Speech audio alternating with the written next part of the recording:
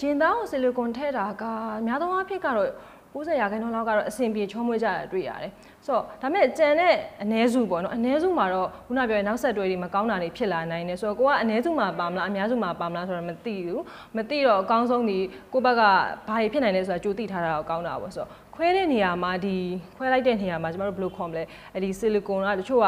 ပြန်ပြီးတော့စိတ်ထွက်လာတာမျိုးကွဲပြီးတော့စိတ်ထွက်လာတာမျိုးရှိတယ်အဲ့လိုစိတ်ထွက်လာဆိုရင်အဲ့ဆီလီကွန်ကမယ်အလုံးခဲဖြစ်ပြီးတော့ဆီလီကွန် granuloma လို့ခေါ်တာပေါ့အဲ့လိုမမာခဲဖြစ်နေတတ်တယ်ပြီးရင်ဒီနေရာမှာခွဲလိုက်တဲ့အတွက်ဒီအမာရွတ်အကြောင်းအရာကြီးကကျန်နေတတ်တယ်တချို့ကြတော့လည်းဘယ်လိုပြောမလဲရှာရှာပါပါဒီနို့ဒီကောင်းတစ်ဝိုက်မှာရှိရဲ့အာယုံရောလေးတွေဒါမှမဟုတ်လည်းတချို့ကြလည်းရင်သားတစ်ခုလုံးပါပေါ့နော်ဒီအာယုံရောတွေကိုထိခိုက်ပြီးတော့အရန် sensitive ဖြစ်တာအထိမခံနိုင်ဘူးထိရနည်းနည်းလေးထိလိုက်ုံနဲ့သူအရန်နာတာမျိုးခံစားရတယ်ဒါတမျိုးတချို့ကြလည်းအဲ့လိုမဟုတ်ထိရင်တိတော့မတိတော့ဘူးဆိုတော့ဘယ်လိုပြောမလဲအရန်ကိုအတက်ပက်သွားရတယ်အပြက်ပက်သွားနှစ်ခုဖြစ်နေတတ်တာပေါ့နော်ချိုးကြောက်လဲဒါဒီခဏပေါ့တစ်ပတ်နှစ်ပတ်လောက်နေပြီးတော့ပြန်ကောင်းသွားမျိုးရှိတယ်တချို့ကြလဲတက်တက်လုံးမကောင်းတော့ဘူးအဲ့ဒီလိုမျိုး sensitive ဖြစ်တာကြီးကတောက်လျှောက်တရေထိရှိနေတာမျိုးလည်းဖြစ်တတ်တယ်နောက်တစ်ခုကကြတော့တကယ်လို့ဒီအထဲမှာထည့်လိုက်တဲ့ဟာဒီ infection ပေါ့ယောဂဘိုးတစ်ခုခုဝင်သွားမယ်ဆိုရင်ဒါကဘယ်လိုမှအဆင်မပြေတော့ပြန်ပြီးတော့ခွဲထုတ်ရတာမျိုးဒီပစ္စည်းကိုဖယ်ရတာမျိုးရှိတယ်ဆိုတော့ ဒီဆီလီကွန်ထည့်လိုက်တာဒီတသက်လုံးခံတာမျိုးမဟုတ်ပါဘူးကျွန်တော်တို့ဒီဆီလီကွန်ကိုအချိန်တိုင်းတာတစ်ခုကြာရင်အမှ9နှစ်10နှစ်လောက်ကြာရင်ပြန်ထုတ်ရတာမျိုးပြန်လဲရတာမျိုးတော့လုံးတော့လုံးပြရမယ်ဒီတိုင်းတော့ထောက်လျှောက်တင်လို့မရဘူးတချို့ရေဆိုရင်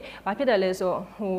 ရင်သားအရွယ်စားပေါ့နော်ဟိုဘက်ဒီဘက်မညီတာတို့အဲ့လိုဖြစ်တတ်တယ်ပြီးရအထက်ကဒီဆီလီကွန်ရည်တွေအထက်မှာအဝင်ခွင်ရမရှိပဲ rotate ဖြစ်နေတာလှည့်နေတာမျိုးအဲ့လိုမျိုးတွေလည်းရှိတတ်တယ်ဆိုတော့ဖြစ်နိုင်ချေကတော့အများကြီးပါပဲဖြစ်နိုင်တယ်တချို့ကြတော့လည်းဒီဟာလုံနေတဲ့အချိန်မှာဒီသုံးတဲ့ထုံစည်းမေးစည်းနဲ့မတည့်တာမျိုးပေါ့နော်ဒါကလည်းရှားတယ်ရှားပေမဲ့ဖြစ်တဲ့တဲ့နော်ဒီလိုမျိုးဖြစ်တာရှိတယ်တချို့ကြတော့လည်းခွဲပြီးရင်ကိုယ့် result ကိုဘယ်လို့မှမကြည့်နဲ့ဘူးကျွန်တော်တို့ research တွေကိုကြည့်ချင်တဲ့အခါမှာဒီလိုမျိုးရင်သားခွဲစိတ်ပြီးအမျိုးသမီးတွေကတစ်ချိန်နဲ့ဘယ်တော့မှစိတ်မကြည့်နဲ့ဘူးသူတို့ result ကိုအဲ့တော့တစ်ချိန်ခွဲပြီးနောက်ထပ်နောက်ထပ်ဒီခွဲချင်နေကြရဲဆိုအထက်တက်ပြီးတော့ခွဲတဲ့အတွက်ဒီ operation တွေများလာတဲ့အခါမှာခန္ဓာကိုယ်မှာအများကြီး risk တွေတက်ရောက်မှုရှိတယ်အရေးကြီးတဲ့ချက်ကတကယ်လို့ကိုကအိမ်အောင်ပြုတ်မယ်ကလေးမွေးမယ်နှုတ်တိုင်မယ်ရည်ရွယ်ချက်ရှိရဆိုရင်ဒီ silicone ထည့်ထားတာဒီနှုတ်တိုင်လို့ဘယ်လို့မှအဆင်မပြေဘူးအဲ့တော့နှုတ်အထွက်နေတာလည်းဖြစ်နိုင်တယ်လို့နှုတ်လုံးဝမထွက်တာလည်းဖြစ်နိုင်တယ်အဲ့တော့ကိုကကလေးကို ယူဖို့အစီအစဉ်ရှိရဆိုဒီ silicone breast ကြီးကဘလို့မှ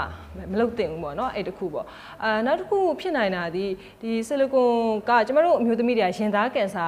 ဖြစ်မှာကြောက်တယ်လေအဲ့တော့ရင်သားကစားဖြစ်မှာကြောက်တဲ့အတွက်ဒါကိုကြိုစစ်တာမျိုး mammogram လို့ခေါ်တာပေါ့ရင်သားတက်မှန်ပေါ့နော်ရင်သားတက်မှန်ဟဲတဲ့ခါကျရင်အဲ့လိုမျိုး silicone breast တဲ့တာအမျိုးသမီးတွေဘယ်တော့မှ result ကိုမှန်မှန်ကန်တိတိကျကျမသိရဘူးအဲ့တော့ mammogram ပြည်သူကတခြားထပ်ပြီးစစ်တာအများကြီးထပ်လုပ်ရတယ်အလုံးရှုပ်တယ်ပိုပြီးငွေကုန်ကြေးကြများတယ်ပေါ့ဒီလိုမျိုးမလိုလားအပ်တဲ့ဟာလေးတွေတော့ဖြစ်လာနိုင်ပါတယ်